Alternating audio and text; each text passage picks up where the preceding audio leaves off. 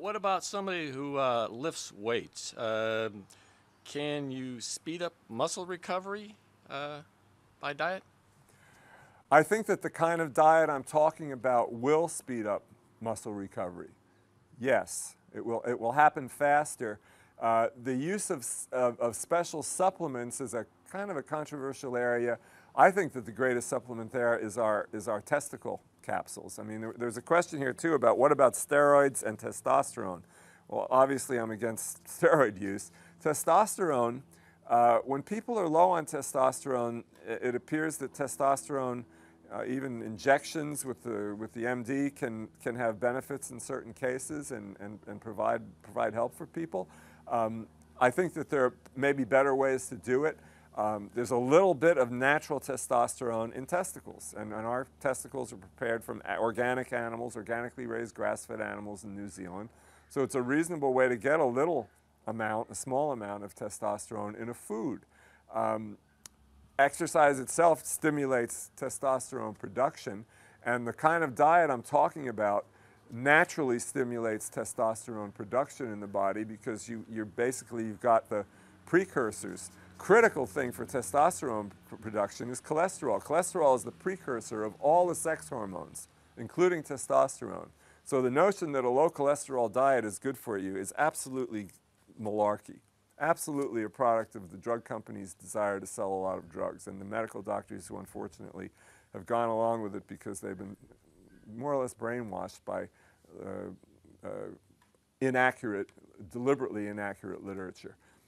All right, so testosterone, uh, a good cholesterol-rich diet with lots of quality animal foods will help optimize testosterone production in both men and women. Women need lots of testosterone, well, a smaller amount, but women need testosterone too, and they'll make it in their bodies with the help of the right foods. What about joint maintenance? Joint maintenance becomes more of an issue for endurance athletes because they're using the same joint over and over. Um, glucosamine chondroitin is a great supplement to help that. It contains nutrients that actually feed the joints. Uh, cod liver oil is a great supplement because it regulates mineral metabolism, and mineral metabolism is one of the keys to healthy joints. Our CalMag hydroxyapatite, the calcium hydroxyapatite is actually from the joint tissue of organically raised animals, and it contains not only the calcium, but the, the protein matrix that the calcium naturally occurs in, in the animal's joint, and that literally feeds the joints in a way that's very helpful for the joints. So joint maintenance there you know, there's a tie-in with nutrition. But very important too is some good common sense about how strenuously and how much to use the joints. You know, if it hurts, rest it. There's, there's a time, the, the rest portion of, of growing stronger is critical. Every time you exercise, you get weaker. You wear the muscle out and when you finish, you're weaker. And if you give it enough time to recover before you work out again, you are stronger than you were before the last workout. If you work out before that recovery is finished, you're weaker than before the last workout, and you keep getting weaker every time you do that, and eventually you break down. It happens to some of the greatest athletes in the world. It happened to Rafael Nadal, a great tennis star, over the last couple of years, and he basically took two or three months off. And I'm happy to say it came back a month ago, and he's better than ever because he rested. He was smart enough to rest. The reason he's so smart about it at 24 years old, he's got a family, an extended family that lives more or less traditionally in uh, Spain, and I think he's probably listening to his grandmother and not the doctors that are uh, telling him the wrong things. Do you have any uh, different recommendations for those of us over 55? It gets harder as you get older to maintain. So it's more important, and it gets also it gets harder to reverse problems when they do occur.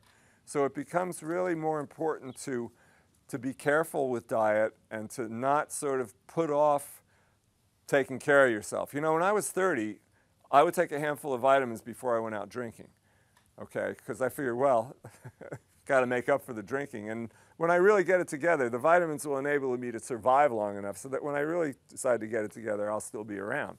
If I knew I was going to live this long, I would have taken better care of myself, like David Crosby says.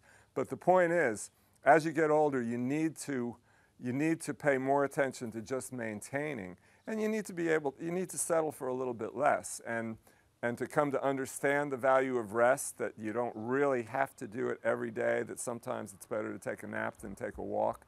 Um, special nutrition, be sure to get to emphasize the quality animal fats as you get older. It becomes more and more important to, um, to get those critical nutrients. It's, it's the animal fats, and of course in supplements, the organs and glands and the cod liver oil and the butter oil that become uh, critically important in really in, in um, holding off aging and in, in uh, uh, preventing chronic problems from occurring.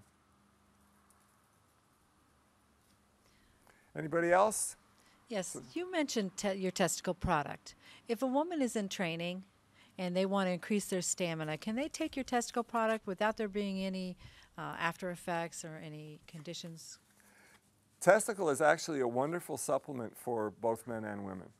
Um, low testosterone as women uh, get older is, is a, a well documented, and the use of extra testosterone, even, even prescription wise, has been shown to have all kinds of benefits for women as they age. So, using, and traditionally, using, using testicle from animals is something that both women and men have used in traditional societies. So, and I, we've had a few women who, who use testicle in, uh, in their supplement program uh, to great benefit. So, so I think that it's perfectly reasonable.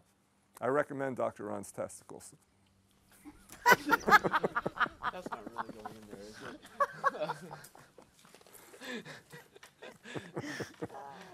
That's going on there. Okay, is that a wrap?